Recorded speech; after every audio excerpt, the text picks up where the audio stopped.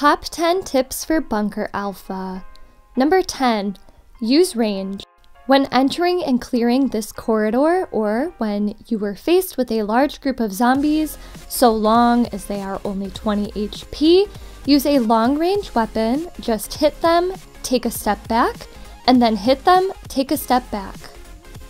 Number 9. Critical hits.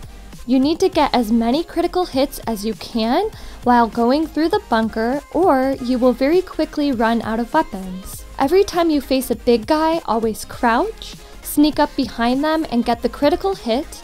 He only has 15 health left, so you're best to just take a step away and equip a cheaper melee weapon. Number 8. Fenced Zombies.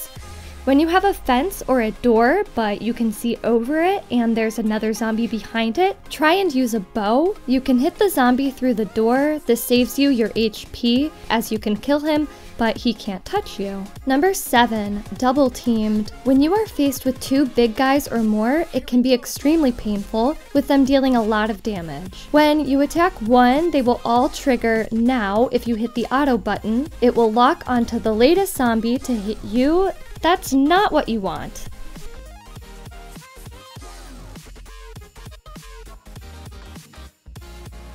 Number 6. Embrace your inner Katniss Everdeen. There are many giants in the bunker, and because most of them drop red coupons, you need to kill them all.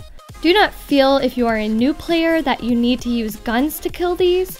As you can see, I don't use a single firearm. Every single giant can be killed with the bow.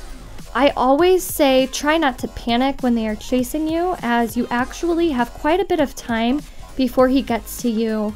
Most of my hits do 18 or 19 damage. Don't be scared to hold onto the bow for a few seconds to get the extra one or two hit points. Number 5. Bow Durability.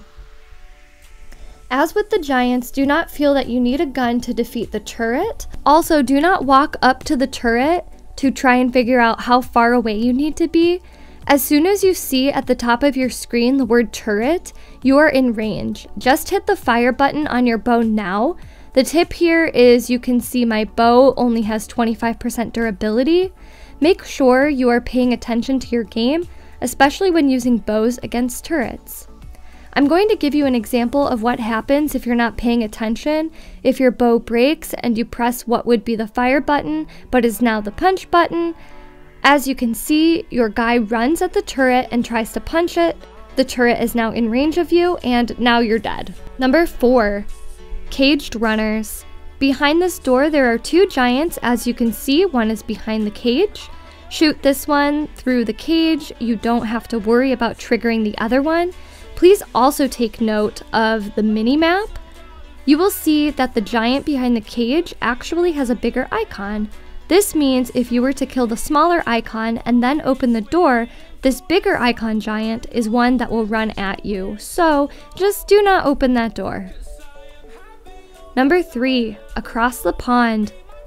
You can take out this giant without opening the door in front of him you can shoot across this water. This makes it so much easier for you as you can take him out with ease with the bow without having to worry about where you're walking. And this is also great practice for you with the bow. Number two, game manipulation. Use the elevator to your advantage. If you crouch, you can get the critical sneak attack hit on one of these guys. Then, immediately run away. Exit the floor as soon as you re-enter, crouch again, and do the exact same thing. This allows you to get multiple critical hits, saving you a huge amount of durability on your weapons. I only really do it with these two guys, but you can do it with any of the big zombies. It just means you have to dedicate a little more time to entering and exiting the floor.